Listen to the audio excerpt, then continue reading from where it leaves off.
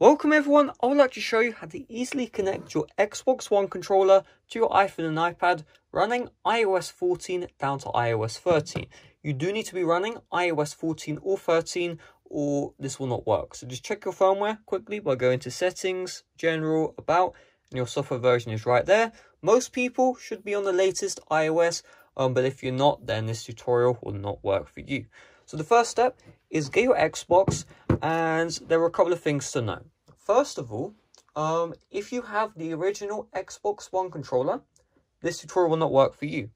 The reason why is because even though those controllers have wireless, they don't use Bluetooth connect to the uh, to connect to the Xbox, which means that you can't connect your Xbox One controller to your iPhone. So if this tutorial does not work for you, that's because your Xbox One controller is an older model.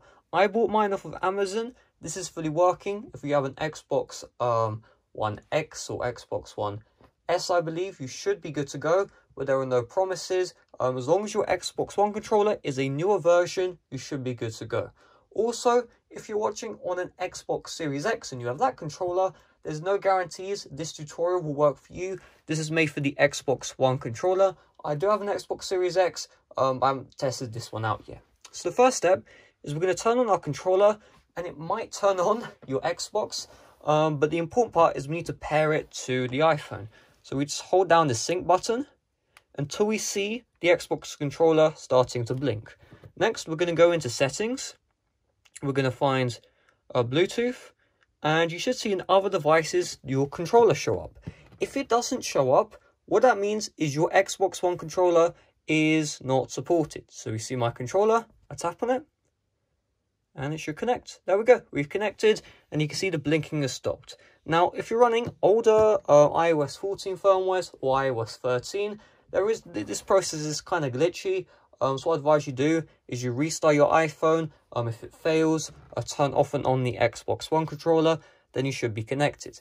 Now, even though we're connected, this tutorial is not over because First of all, not all games support this. So for example, PUBG doesn't support an Xbox controller. A lot of games don't support it, but some games like Minecraft uh, do. Same with Fortnite. So uh, this right here is Minecraft.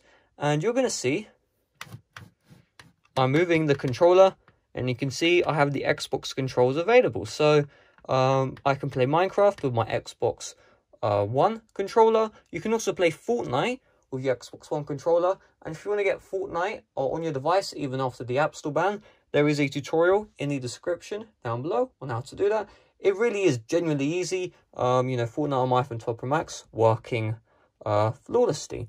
Finally, you might be like, well, now how do I connect my controller to my Xbox One?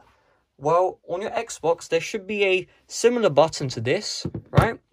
And so when you're done with uh, playing with the iPhone, you hold this button down to go into sync mode on your Xbox One controller. Then you also hold that same button down on your Xbox One and then they should pair back together because you can only be paired to your iPhone or your Xbox at once and that is how to basically, you know, revert the connection and connect your controller back to your Xbox so you can actually play on your Xbox again. So hopefully you guys enjoyed. If you did, smash like and I'll see you guys later.